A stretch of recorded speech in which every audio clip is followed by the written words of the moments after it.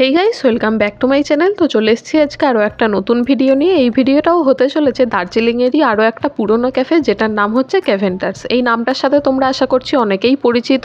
আর দার্জিলিং ম্যাল থেকে মাত্র তিন চার মিনিটের ডিস্টেন্সেই কিন্তু এই ক্যাফেটা রয়েছে। ক্যাফেটার ওপেনিং টাইমিং হলো সকাল আটটা থেকে রাত্রি সাতটা পর্যন্ত।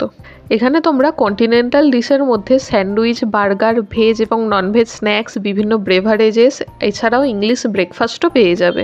আর এখানকার খাবার দাবারের প্রাইসিং কিন্তু আমার খুবই রিজনেবল লেগেছে। মানে এরকম সুন্দর একটা ভিউ এনজয় করতে করতে যে এত কম দামে এখানে খাবার পাওয়া যায়, সেটা আমার জানা ছিল না।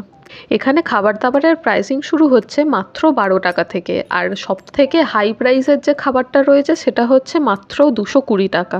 মানে দুশো কুড়ি টাকার মধ্যেই তোমরা সমস্ত খাবার দাবার কিন্তু পেয়ে যাবে। বেশিরভাগ খাবারের দামই কিন্তু আশি, নব্বই এবং একশো টাকার মধ্যেই। তোমরা যদি দার্জিলিংয়ে ঘুরতে গিয়ে বাজেট ফ্রেন্ডলি কোনো ক্যাফেতে খাওয়া দাওয়া করতে চাও, তাহলে আমি বলব ক্যাভেন্টার্স কিন্তু তোমাদের জন্য পারফেক্ট ডেস্টিনেশন মানে এত সুন্দর ভিউ তার সঙ্গে দারুণ অ্যাম্বিয়েন্স আর খাবার দাবারের প্রাইসও কিন্তু রিজনেবল আর কি চাই?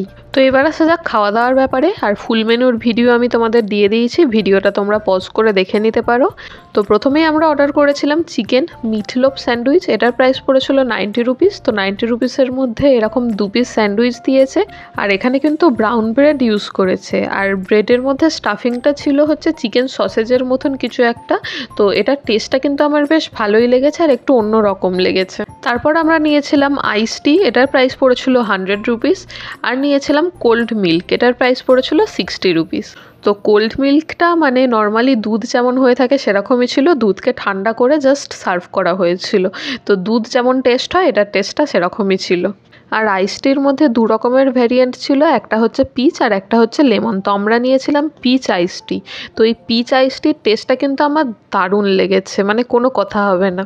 তারপর আমরা নিয়েছিলাম কোল্ড প্ল্যাটার এটার মধ্যে চিকেন আর পোর্ক দুটোর অপশান ছিল, তো আমরা পোর্কটা নিয়েছিলাম। চিকেনের প্রাইস পড়বে টু হান্ড্রেড রুপিস আর পোর্কটার প্রাইস পড়বে টু হান্ড্রেড টোয়েন্টি রুপিস এই প্ল্যাটারটার মধ্যে থাকবে স্মোকড হ্যাম কুকড হ্যাম সালামি অ্যান্ড চিজ আর এই পুরো প্ল্যাটারটাই কিন্তু ঠান্ডা সার্ভ করা হয়। তো এবার আসা যাক এটা টেস্টে তো এটা আমি প্রথমবার ট্রাই করলাম এরকম কোল্ড প্ল্যাটার তো স্মোকড হ্যামটার মধ্যে একটু স্মোকি একটা ফ্লেভার ছিল।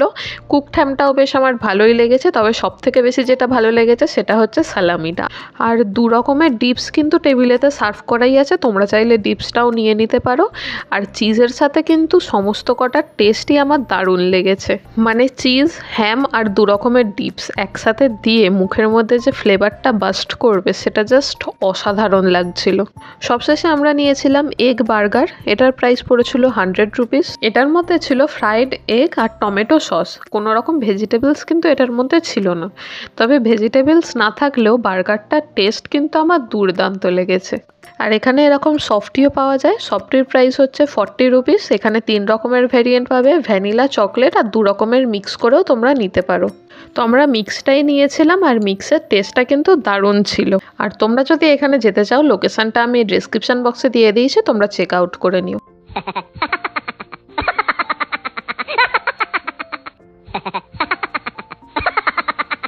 তো আজকের ভিডিওটা তাহলে এখানেই শেষ করছি। ভিডিওটা ভালো লেগে থাকলে ভিডিওটাকে লাইক করো, কমেন্ট করো আর প্রচুর পরিমাণে শেয়ার করে দিও। তো দেখা হচ্ছে পরের ভিডিওতে। ততদিন পর্যন্ত stay safe and healthy tata!